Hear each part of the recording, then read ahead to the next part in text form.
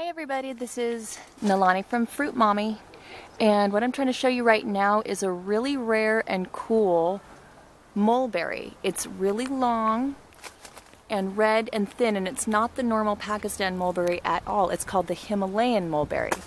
Okay, so what we're gonna do, you can see this tree. It's a big tall tree. It's like 20 feet tall.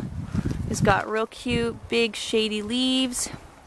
Here's the berry. It's a nice big long red berry.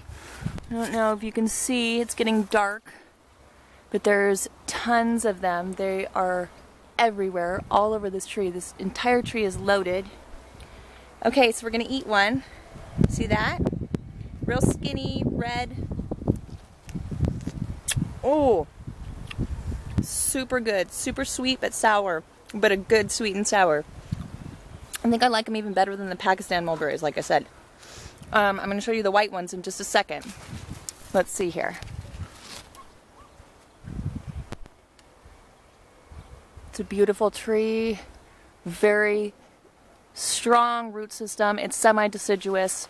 Well, it is deciduous, but it only goes to sleep for just a couple um, months in the winter because it's so warm here.